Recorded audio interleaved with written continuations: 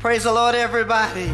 We're so glad to have my good friend, Minister Peggy Willis. It's good to have you on the show. Blessings to you. I'm most proud to be here. Well, we're glad to have you. This is my wonderful friend who we walk together and call uh, each other with chocolate milk. Amen. We come together.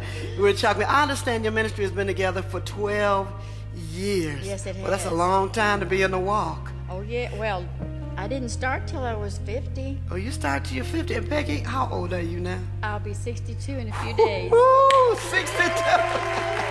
and moves better than me. Amen. Glory to God. Listen, listen, when you first started with praise dance, um, it was a little difficult, huh? Tell us a little bit about Well, it. Well, it was. It was a pressing in because the churches had not seen it yet and seen it to the fullness of the glory that God wants to bring it to. Right. And so when we asked pastors to allow us to do that, oh, yes, in the back room. Mm-hmm. And then, you know, different ministries I would see come together. And then I'd go, I don't want to dance like that. Okay. Because it wasn't presenting my emotion that I had to Jesus.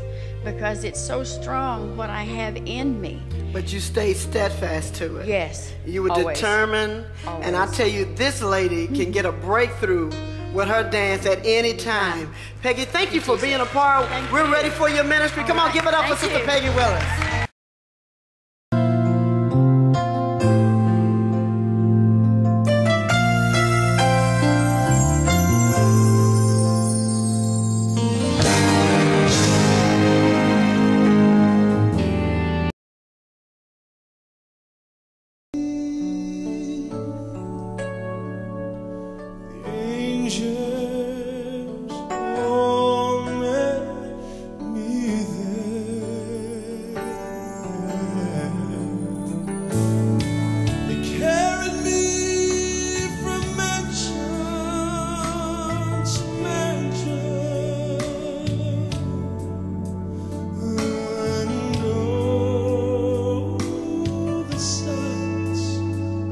I.